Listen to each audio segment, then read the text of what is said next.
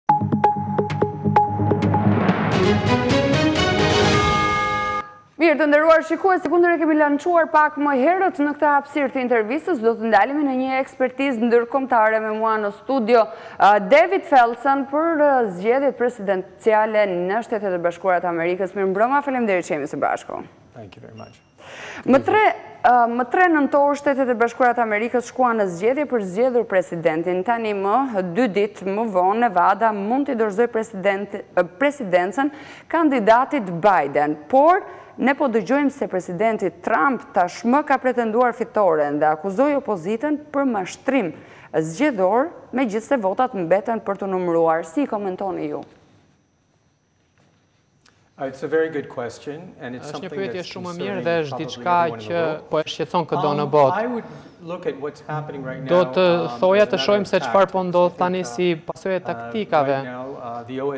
Tashmë OSBE-ja ka treguar që nuk ka parregullsi dhe vjedhje. dhe çdokush i sheh që zgjedhjet po shkojnë dhe po ecin pa parregullsi dhe në fund të ditës nuk do të gjehet ndonjë parregullsi dhe duhet ta lëmë procesin që të shkojë në rrjedhën e tij. Ndërkohë, a ishte Nevada një shtet i lëkundur? Për shkak se po lexojmë se Pennsylvania, Michigan apo Wisconsin ishin shumë të rëndësishme. Pra, shtetet kyçe dhe të lëkundur, Michigan, Pennsylvania dhe Wisconsin, konsiderohen sepse ato janë shtete të mëdha që të influencojnë sa i përket asaj çka do të vijë nga zgjedhje. Dhe sa delegatë dërgohen 270. Dhe Nevada ka vetëm gjashtë dhe nuk është konsideruar ndonjëherë si shtet kyç. Por, perceptohet si në fund të numërimit Nevada do të jetë në kolonën e demokratëve, ndërkohë sa i përket tre shteteve të tjerë do të jetë shumë më afër. Prandaj edhe këta janë shtete të lëkundur apo kyçe. Nevada nuk është aq e madhe që të ketë po të njëjtin impakt. E ndërkohë çdo votë që do të vijë pas ditës së zgjedhjeve nuk do të llogaritet, shkruan Trump në Twitter. Cili është problemi me këtë votë, për mendimin tuaj? Epo, mendoj se esencialisht sërish po t'i kthehemi çështjes së Presidentit Trump. Ai duket se është i shqetësuar se nuk mund t'i fitojë zgjedhjet dhe kjo është një çështje sa i përket taktikave, sa i përket fushatës zgjedhore ishte tepër evaziv sa i përket pyetjeve nëse do t'i njihte zgjedhjet apo jo dhe mendoj se ai po luan fort uh, deri në pikën derisa të largohet dhe kjo besoj se është sa i përket një uh, skenari që ai po uh, e ka sipas fushatës së tij. Ndërkohë që disa vëzhgues paralajmërojnë se do të ketë një krizë kushtetuese, do të ndodhë kjo pas gjithë këtyre, të themi, ngjarjeve?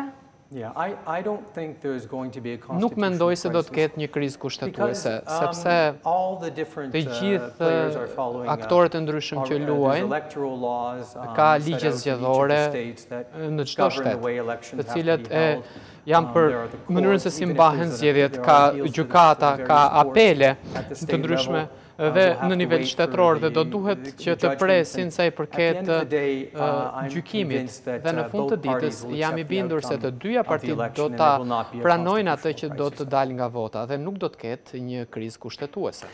Çfarë mendoni se do të merrte për rivendosjen e besimit mes partnerëve transatlantikë për faktin se demokratët kanë thënë se kishte një çarje në këto marrëdhënie me aleatët?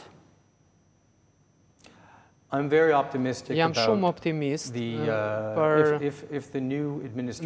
për administratën e re. të Joe Bidenit dhe jam shumë optimist se do të jetë një prioritet i lartë për të lidhur sërish besimin um, dhe për të hapur linjat e komunikimit dhe bashkëpunimin um, me aleatët, për të forcuar um, edhe më tej NATO-n dhe për të ndjekur forcimin e multilateralizmit. Mendoj se kjo do të ndodhë në një administratë të Bidenit. E ndërkohë si e shikoni problemin me Kinën nëse do të kemi në presidencë Biden? Well, Mendoj, marrëdhënia midis Kinës dhe Amerikës është e vështirë tashmë.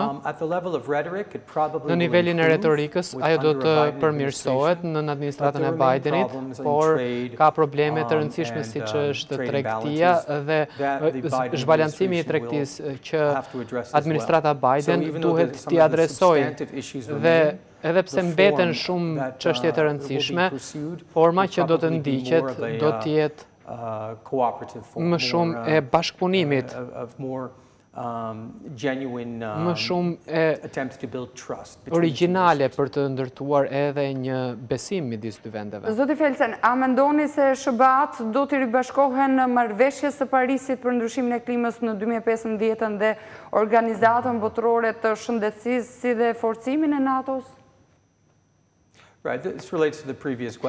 Kjo lidhet um, me pyetjen që folëm uh, pak më parë, mendoj se uh, ka shumë njerëz brenda Partisë Demokratike uh, që do të donin dhe do të mbështesnin um, marrëveshjen e Parisit.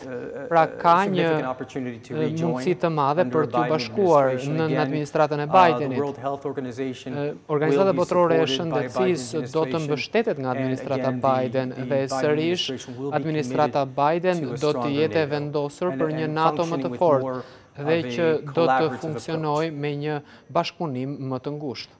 E ndërsa, spektakli i një superfuqie në kolaps është magjepsës. Kështu ka thënë ligjvënësi pro-Kremlinit Nikonov, nipi i hapur i ministrit të Jashtëm të diktatorit Josef Stalin.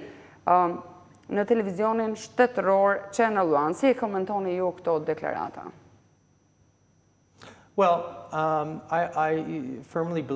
Mendoj se uh, ata të cilët i mbështesin Republikanët e Demokratët apo të pavarurit, mendoj se um, kushdo në Shtetet e Bashkuara të Amerikës uh, është i bindur se institucionet e Shteteve të Bashkuara të Amerikës janë mjaftueshmërisht të forta dhe në gjendje dhe mendoj se këto zgjedhje dhe 4 vitet e shkuara e kanë treguar këtë.